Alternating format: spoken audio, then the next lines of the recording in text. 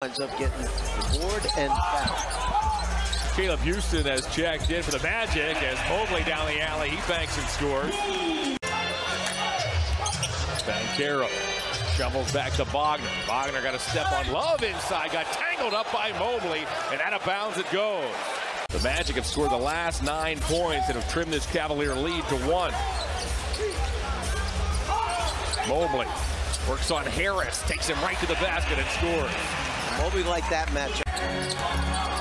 Now it's Mobley. Mobley flips it up. Allen keeps it alive as he bats it right back to Mobley, who banks and scores. You're seeing that extra effort right now from the Cavaliers. Time victory over the Wizards. Cavs looking to make it three in a row here tonight as Mitchell relays to Love. Love feeds the post. Mobley down low, twirls and scores. There was nobody to pick up his man running that slot line. Mobley inside, takes the feed. Guarded by the 7-2 Bol.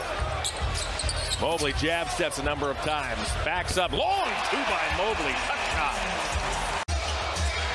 Paolo Neto starts this fourth quarter. We'll set the lineups for you in a moment. Deals to Osman. Whoa, an alley-oop for Evan Mobley, who stuffed it home. About accepting that challenge defensively, that he knows his minutes will come from the defensive end, and he's here.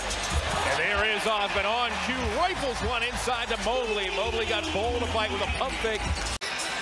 Use the shot clock. Allen back to LeVert inside. Now to Mobley. Takes a dribble. Mobley puts it up and puts it in.